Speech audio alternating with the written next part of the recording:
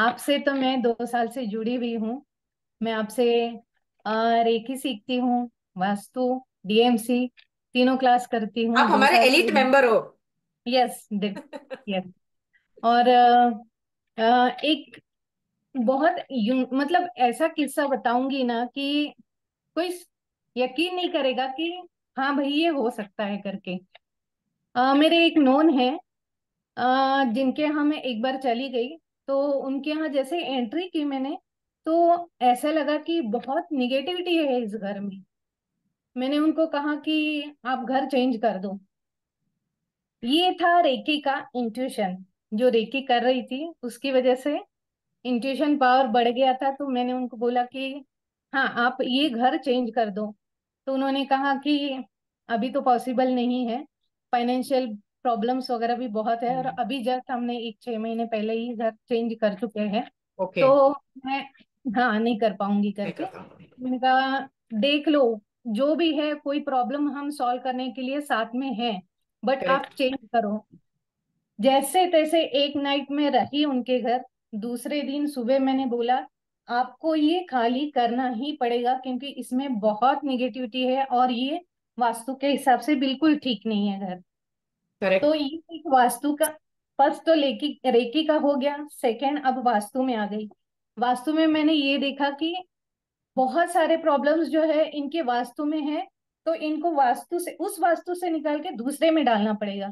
फिर मैंने उनको बहुत मना के क्योंकि वो मुझे बहुत ज़्यादा मानते हैं तो उन्होंने मुझे कहा कि चलो ठीक है अ, आप इतना कहते हैं तो हम चेंज कर लेते हैं। बट फाइनेंशियल प्रॉब्लम बहुत है तो मैंने कहा आप जितना रेंट पे करते हो आप करो उसके आगे जो भी होगा वो मैं करूँगी बट आप बस दो महीने के लिए मैं जो बताऊँगी उस घर में चले जाओ। तो उनको मैंने अप, अपनी तरफ़ से एक उस हिसाब से घर दे दिया कि वो अच्छे से रहे। रह सके। से चले गए। अभी दो महीने हो गए वो उस घर में है और वो इतने हैप्पी फैमिली है।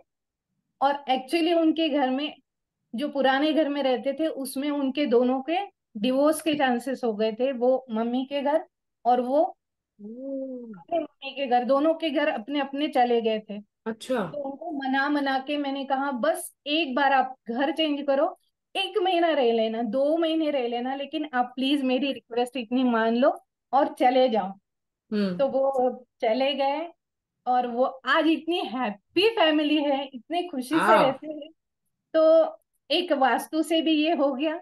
और वास्तु से जो इनकम जनरेट कर रही हूँ उससे मैं एक बच्ची को पढ़ाने के लिए काबिल हो चुकी हूँ कि मैं उसका खर्चा oh, उठा रही हूँ। That is amazing congratulation so proud of you और डीएमसी करती हूँ तो डीएमसी से भी मैंने बहुत अच्छा नॉलेज मतलब पॉजिटिव रहना कैसे और एक्टिव रहना है ये भी सीखा है।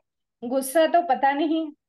मतलब है टेंशन लेना बात बात पे वो भी खत्म हो चुका है। सारे फैमिली में सब बोलते हैं कि इतना कैसे चेंज आ गया मैं कहती हूँ सिर्फ़ DMC thank you so much आपके साथ जुड़ के मुझे बहुत खुशी हो रही है। आगे भी मैं आपके साथ जुड़ के रहूँगी सारे क्लासेस अटेंड करूँगी और आप thank you so much life में आए इसके लिए थैंक यू